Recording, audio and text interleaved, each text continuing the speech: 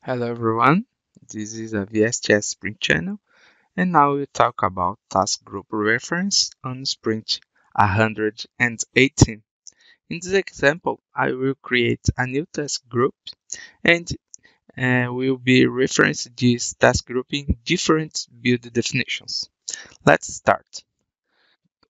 This is a one build definition and I click on one task and create task group task group publish artifact.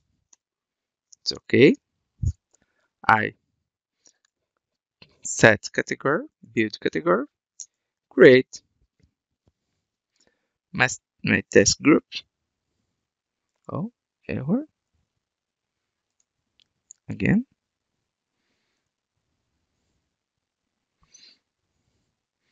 Task group, publish artifact.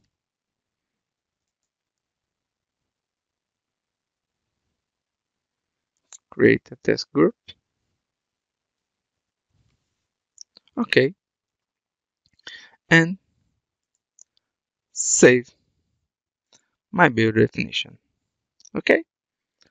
On test group, I will refresh my reference and now I have task group publish artifact and here I have an reference type. I click on release definitions, build definitions and task group and now I will I have these respective builds or release definitions that contains my task group reference. That's it. Thank you. Bye bye.